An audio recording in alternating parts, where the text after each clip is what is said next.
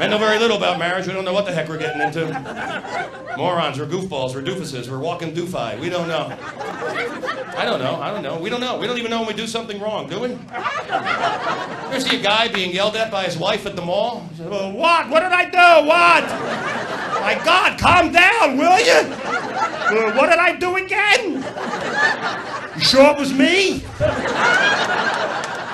Might have been another guy. All right, I won't do it again. Of course we do it again. You know why? Because we're not listening in the first place. Change when you get married. Only a wife will blame her husband for the smell of industrial waste. Something smells odd, she looks right at me. We're in a car, we're on a bridge, we are directly on top of an oil refinery.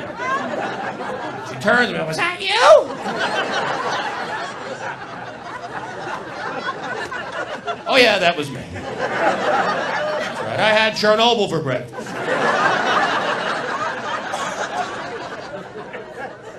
My wife likes to compare her body. She compares her body with other women's bodies. Then she wants me to help her in the comparison. This, my friends, is a no-win situation. Honey, see that girl over there? Is my rear end bigger or smaller than hers? All of a sudden, I'm the official rear end inspector. How do you win, especially when it's bigger? What do you say? Yeah, your rear end is 10 times the size of that girl's rear end. Here, here are the satellite photos. You figure it out.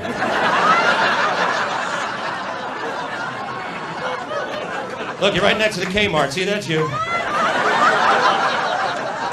You can't see the K, but I'm telling you, that's the Kmart. Poor men. So many things we have to figure out. Items and products we're not used to. You get married, boom, potpourri. What the heck is potpourri? I didn't even know there's a product out there called potpourri. At least now I know what it is. Expensive bags of smelly mulch.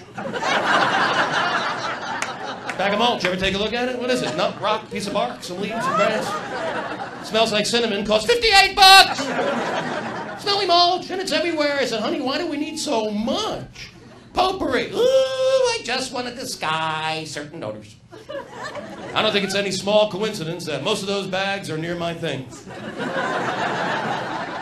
I go by the cat box. There's no potpourri there.